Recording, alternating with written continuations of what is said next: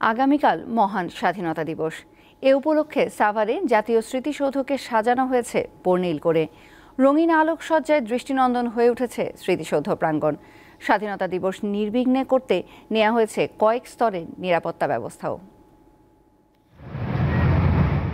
মহান স্বাধীনতা দিবস সামনে রেখে সাভারের জাতীয় স্মৃতিসৌধে চলছে রাষ্ট্রীয় আনুষ্ঠানিকতার মহড়া।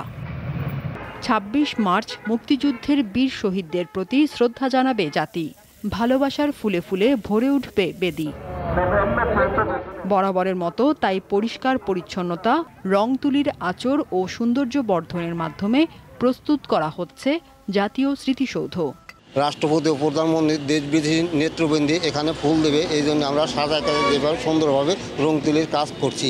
আমরা মরিচা বাতি আগে কাজ করি ফিনিশিংয়ে এ দিয়ে এলো আপনার পিকজেল লাইট চল্লিশ জন মানুষ কাজ করতে আসি আজ মনে হয় ধরেন সাতাশটা দিন করে করছি আজকে মনে কমপ্লিট ফুল দিয়ে সাজানো রং তুলির কাজ সিসি ক্যামেরা স্থাপন লেক সংস্কার সহ সকল কার্যক্রম সম্পন্ন করেছি। স্বাধীনতা দিবসে পুরো এলাকা কয়েক স্তরের নিরাপত্তার চাদরে ঢাকা থাকবে বলে জানিয়েছে সংশ্লিষ্টরা। ড্রোন দ্বারা এই পুরো এলাকার পরিস্থিতি আমরা মনিটরিং করব। আমাদের কন্ট্রোল রুম স্থাপন করা হয়েছে।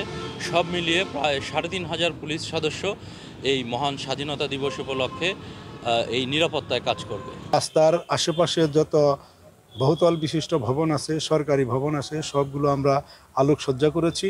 পর্যায়ক্রমে আলোকসজ্জা করার কাজ চলছে।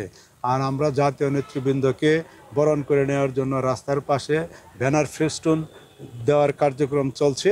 ২৬ মার্চ সারা দিন সর্বসাধারণের জন্য উন্মুক্ত থাকবে সাভারের এই জাতীয় স্মৃতিসৌধ। দীপ্ত, বার্তাকক্ষ।